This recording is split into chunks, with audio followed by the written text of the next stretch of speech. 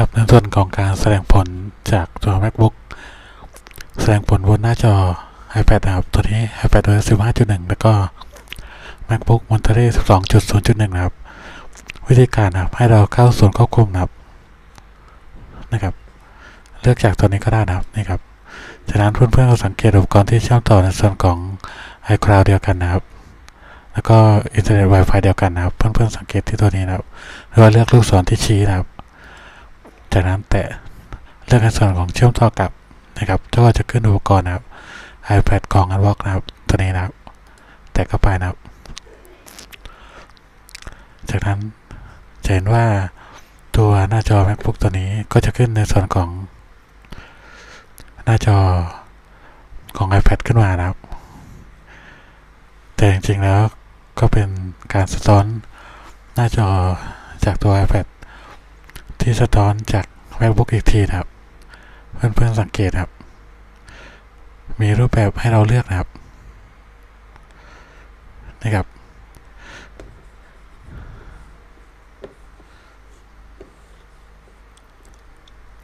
ตอนนี้เพื่อนๆเห็นที่เคอร์เซอร์ครับนะครับ เหมือนกับหรือว่าแยกต่างหากนะครับ ก็เลือกได้นะครับนะครับ เราเลือกตัวนี้นะครับ จากนั้นให้เราลากตัว cursor นะครับ ไปทางขวาครับนะครับ ก็จะมาเห็น cursor ในหน้าจอ iPad ครับ แล้วก็เราสามารถควบคุมนะครับเนี่ยครับ เมนูด้านบนครับนะครับ เราสามารถแสดงผลแล้วก็ควบคุมผ่านเมาส์ในตัว iPad นะครับ การแสดงผลในหน้าจอ MacBook ก็เป็นแบบเดียวกันเลยนะครับ หากเราต้องการเปิดแอปใน MacBook นะครับ มาด้านล่างที่ด็อกนะครับ นะครับ ก็เจอนะครับ หากเราต้องการเปิดในส่วนของ Luma Fusion นะครับ แต่จากตัวเครื่อง iPad ได้เลยนี่ครับ ตัว MacBook ก็จะขึ้นในส่วนนี้เช่นเดียวกันนะครับนะครับตัว MacBook ก็จะขึ้นแบบเดียวกันนะครับ เราใช้งานปกติทั่วไปก็สามารถที่จะแก้ไขจากตัวเครื่อง iPad ที่เราเชื่อมต่ออยู่นะครับ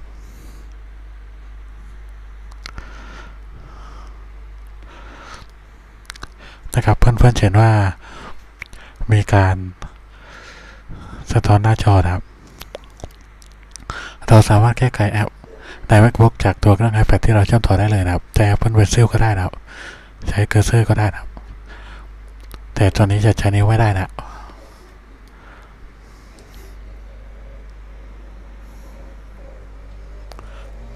นะครับใช้ Apple Pencil ได้นะครับถ้าเราเชื่อมต่อแบบนี้เราสามารถที่จะใช้เครื่อง iPad ได้หรือเปล่านะครับ ได้ครับนี่ครับ เราก็สามารถใช้งาน iPad ได้ปกติ ตัวเครื่อง MacBook ที่เปิดแอปอยู่ก็สามารถใช้งานได้ แล้วเราจะกลับไปใช้งานในส่วนของแอปที่เปิดใน MacBook เราต้องการตั้งค่าใช้งานหรือว่าแก้ไขต่างๆ เช่นไฟล์วิดีโอใน หรือว่าฟิชชั่นทำอย่างไรนะครับ ให้เราล็อกตัวเครื่องนะครับ กดขึ้นมาใหม่นะครับ นี่ครับ ก็เจอส่วนของแอปที่เราแก้ไขเป็นแอปใน macOS ในเครื่อง MacBook นะครับนี่ครับ ก็สามารถที่จะใช้งานแก้ไขได้ตามเดิมนะครับ กลับไปใช้แอปที่เราต้องการได้นะครับ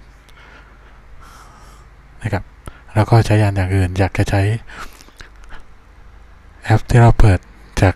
ตัวเครื่อง iOS ก็กดล็อกแล้วกดอีกครั้งครับนะครับ ตอนนี้เชื่อมต่อแบบไร้สายถึงว่าไม่มีพอร์ตเลยครับ ก็ลองดูสำหรับคนที่สนใจในส่วนของ การเชื่อมต่อไร้สายนำแอปใน macOS ครับมาแก้ไขใช้งานใน iPad ซึ่งก็ใช้งานได้สะดวกแล้วก็ถือว่าโอเคนะครับ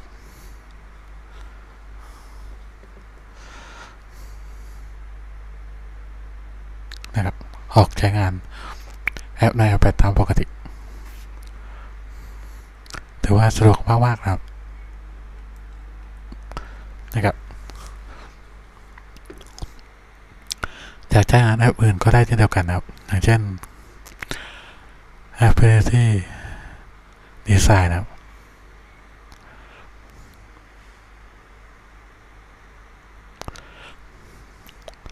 รอโหลดสักครู่นะครับ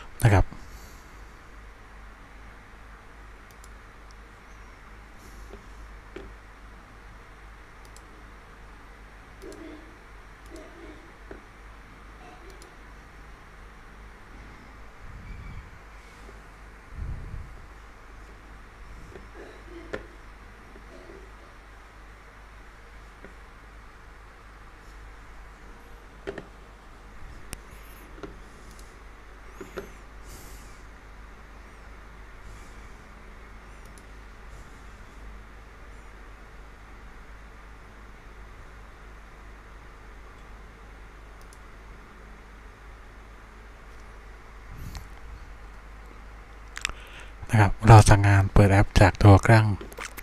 iPad ที่เราเชื่อมต่ออยู่ได้นะครับ นะครับ ก็ถือว่าสะดวกก็ลองปรับใช้งานกันดูนะครับ